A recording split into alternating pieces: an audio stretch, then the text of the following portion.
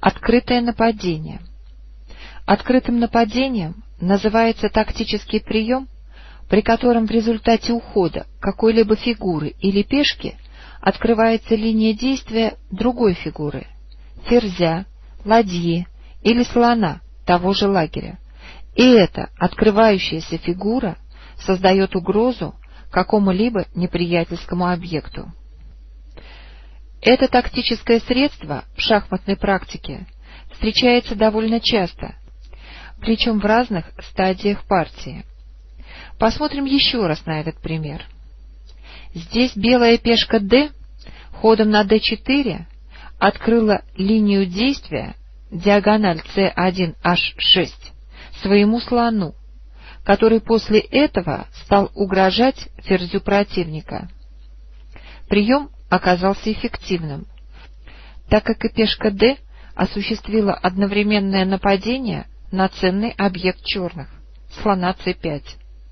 Если бы пешка пошла на поле d3, то белые также осуществили бы открытое нападение, но с меньшим эффектом. Данный пример показывает, что тактический прием становится более коварным, если и открывающая фигура создает угрозу. Приводимые далее тактические трюки, в основе которых открытое нападение, вам полезно запомнить. В ловушки подобного типа начинающие шахматисты попадаются довольно часто. Итак, партия Гитеску-Фишер, Лейпциг, 1960 год. Белая пешка бьет черную на поле c5 и открывает линию нападения для своего ферзя на d3 на слона d6. Слон уходит с битого поля. Он сам бьет пешку белых h2. В результате его ухода открывается линия нападения черного ферзя на ферзя противника.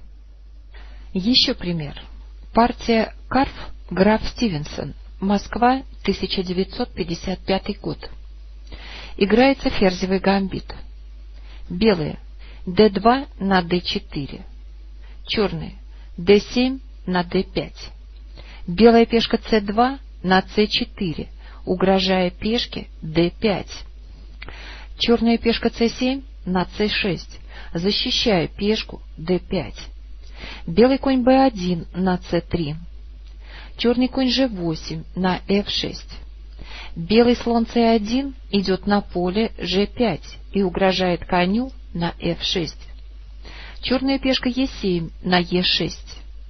Белый конь G1 идет на поле F3, защищая слона на G5. Черный конь B8 на D7, защищая коня F6. Белая пешка Е2 на Е3. Черный ферзь идет на поле А5, связывая коня на С3. Белый ферзь делает ход на поле С2, защищая коня на С3. Черный конь f6 идет на e4, нападая на коня c3. Белый слон с поля f1 делает ход на d3, нападая на черного коня e4. Черный конь e4 бьет слона на g5. Белый конь бьет коня на g5. Черная пешка d5 бьет пешку c4, нападая на белого слона d3 и открывает путь для нападения своему ферзю на коня белых на поле g5. Слон бьет черную пешку на поле c4, но увести коня белые не успевают, и его бьет черный ферзь с поля a5. Белые делают короткую рокировку. Черный конь с поля d7 идет на f6. Белая пешка f2 на f4, угрожая черному ферзю на g5. Ферзь возвращается на поле а5. Белая ладья f1 идет на f3. В игру вступает черный слон. Он ходит с поля c8 на d7. Белая пешка а2 идет на а3. Черный. Пешка b7 на b5 угрожая белому слону на c4. Белые делают ход пешкой b2 на b4, нападая на ферзя. Слон f8 бьет пешку на b4. Белый конь c3 идет на поле а2, нападая на черного слона b4. Ферзь бьет пешку а3. Белая пешка е3 идет на е4, и белые открывают линию нападения ладье f3, которую защищает пешка g2. И черный ферзь вынужден вернуться на поле а5. Белый слон c4 уходит от удара пешки на поле d3. Черный слон уходит от угрозы белого коня на e7. Белый ферзь c2 идет на поле c1. Черный ферзь с поля а5 идет на поле b6. Белый ферзь идет на b2. Черная пешка а7 на а5. Белый конь а2 на c1. Черная пешка c6 идет на c5, угрожая пешке d4. Пешка d4 бьет пешку c5. Черный слон e7 бьет пешку на c5 и объявляет шах белому королю. Король уходит на поле f1.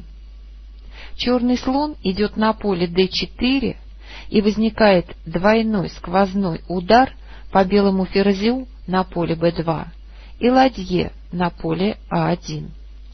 С одной из фигур белые расстанутся. В этой партии победят черные. Вот еще пример из реальной партии. Ланденберге, Родер, Берн, 1993 год. Нахождение ферзей, как, впрочем, ладей и слонов, на одной линии всегда чревато опасностями.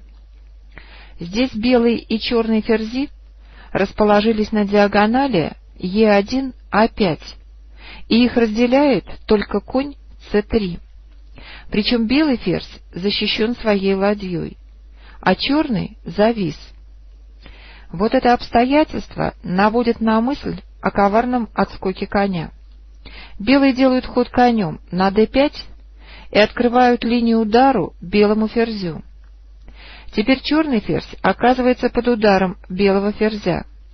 Причем обратите внимание, если в ответ черные решили бы побить белого ферзя своим ферзем, то белый конь сделал бы ход на поле c7 и получился бы мат. Посмотрим несколько партий миниатюр. Эта партия сыграна в Германии в 1973 году шахматистами Майдером и Занкером. Играется сицилианская защита. Белая пешка Е2 на Е4. Черная пешка С7 на С5. Белый конь G1 на F3. Черный конь F8 на C6. Белая пешка D2 на D4. Черная пешка C5 бьет пешку D4. Белый конь F3 бьет пешку D4. Черная пешка G7 на G6. Белая пешка C2 на C4. Черный конь идет на f6, угрожая пешке e4. Белый конь b1 на c3, защищая пешку e4. Черный конь c6 бьет белого коня на d4. Белый ферзь d1 бьет коня на d4. Черная пешка d7 на d6. Белый слон c1 на g5 черный слон f8 на g7, белый слон f1 на e2. Черный делают короткую рокировку. Белый ферзь возвращается на d2. Черный ферзь идет с поля d8 на f5. Белые делают короткую рокировку. Черная ладья идет на d8. Белый слон идет на h6 черный слон на h8. Белый конь c3 делает ход на d5. И белые открыли линию нападения своему ферзю на черного ферзя на поле а5. Не правда ли, ситуация похожа на положение в предыдущем примере? Ферзи стоят на одной линии. Конь отскочил и открыл ферзя противника. Но здесь черный ферзь должен побить белого ферзя на d2, с тем, чтобы отвлечь слона с поля h6. Иначе конь d5 бьет пешку e7, и черные получают мат. Партия Привонец Редман, 1929 год. А в этой партии интересующий нас прием был проведен белыми в более завуалированной форме, и сопернику не удалось своевременно обнаружить угрозу. Играется сицилианская защита. Белые. Пешка Е2 на Е4. Черные. Пешка С7 на С5. Белый конь b1 на c3. Черный конь b8 на c6. Белая пешка g2 на g3. Черная пешка g7 на g6. Белый слон f1 на g2. Черный слон f8 на g7. Белый конь g1 на e2. Черная пешка d7 на d6. Белая пешка d2 на d3. Черный конь g8 на f6. Белые делают короткую рокировку. Черные делают короткую рокировку. Белый слон c1 на f4. Черный слон c8 на d7. Белый ферзь d1 на d2. Черная ладья f8 на e8. Белая пешка h2 на h3. Черный ферзь d8 на a5. Белый слон f4 на h6, угрожая слону на g7. Черный слон g7 уходит на h8. И черный король потерял способность двигаться. Впоследствии это сыграет свою роль. Белая пешка f2 на f4. Черная ладья Е8 на Д8. Белая пешка Е4 на Е5, нападая на коня F6 и открывая линию нападения своему слону G2 на коня C6. Черная пешка D6 бьет пешку Е5, а белый слон G2 бьет коня C6 и уничтожает защиту черного ферзя на поле А5. Правда, слона тут же бьет черный слон с поля d7, но цель белых достигнута. Именно конь мог защитить черного ферзя. Белые виртуозно реализовали задуманное. Теперь уже известный нам маневр. Белый конь c3 отскакивает с линии удара белого ферзя на d2, и опять черный ферзь не может сдвинуться с места. Поскольку тогда белый конь d5 бьет пешку e7 и объявляет мат черному королю. Поэтому черные должны немедленно избавиться от белого коня, и его бьет конь f6, а белые бьют черного ферзя, и у них решающее преимущество. На подобную уловку однажды попался даже чемпион мира. Фрагмент из партии Фишер-Спасский Рейкьявик, 1972 год. Ход черных. Конь f6 на d7. А теперь известный нам прием. Белый конь c3 делает ход на d5, открывает линию удара ферзю d2 и одновременно нападает на пешку c7, намереваясь с поля c7 напасть на черного короля. Черные предпочитают сбить белого ферзя, а белые, как и ожидалось, бьют конем пешку c7 и объявляют шах черному королю. Тот уходит на поле f7, и белый конь c7 оказывается под ударом черного короля. Но белым сейчас важнее сбить черного ферзя.